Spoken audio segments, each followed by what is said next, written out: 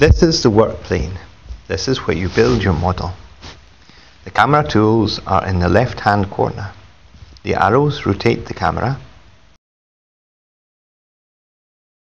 The plus and minus buttons zoom in and out. You can pan the camera by holding down the center mouse button.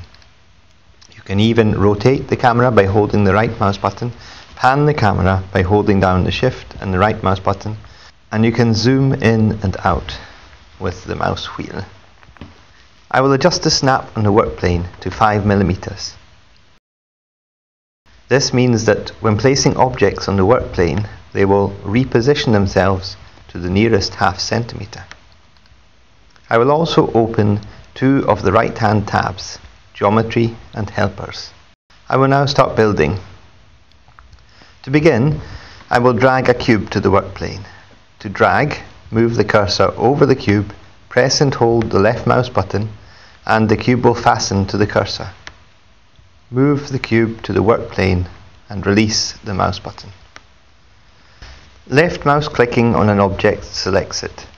With an object selected, a number of handles appear around the object. Dragging the white and black cubic handles changes the object's dimensions. The curved arrows rotate the object around its center, and the black arrow moves the cube towards or away from the work plane. In this tutorial, I'm going to reduce the height of the cube to 10 millimeters. I'm going to change the width to 60 millimeters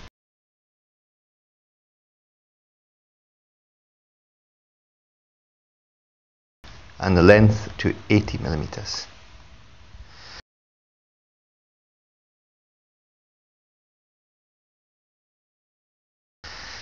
I want to place the next cube directly on top of the first cuboid. To do this I will place the work plane on top of it by dragging it there from the Helpers tab on the right hand side. Here you can see the work plane is now on top of the first cuboid.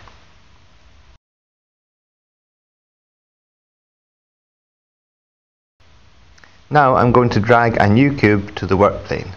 To make things easier for me, I have dropped the cube more or less where I want it to be. However, it is possible to reposition the cube by selecting it and dragging it with the mouse, or nudging it with the cursor keys. I am now going to change the width of the new block to 60 millimeters.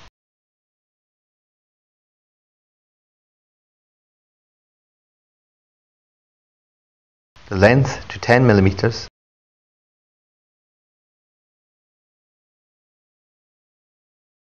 and the height to 40 millimeters. The new cuboid should now be 2 centimeters from the back of the old. If it isn't, drag it or nudge it to the correct position. Next, I'm going to place a semicircular prism on top of the second cuboid. I will drag the work plane to the top of the second cuboid and then a semicircular prism from the Geometry tab to the work plane. In this case, the prism is facing the correct way. However, if it isn't, then use the curved handles to rotate it. I will change the length of the prism to 10 millimeters, the width to 60 millimeters, and the height to 30 millimeters. I will now group the objects together to form a single object. Right mouse click anywhere on the work plane to deselect the current object. Draw a box around all three by holding the left mouse button and moving the mouse so that all the objects are contained in the box. Then release the mouse button. With all the objects selected, left mouse click on the group button at the top left above the main window. Now I want to put a circular hole in the object. To do this I will use a cylinder as a sort of cookie cutter. I will start by dragging the work plane to the face that I want to cut into. I now drag a cylinder from the Geometry tab to the work plane so that the cylinder is above the place that I would like to cut the hole into.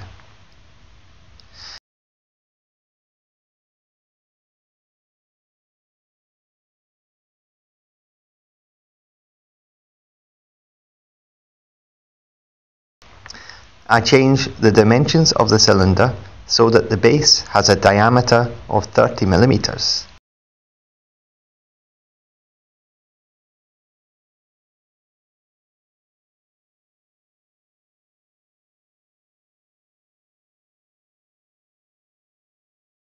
and the height is the same thickness as the main object 10 millimeters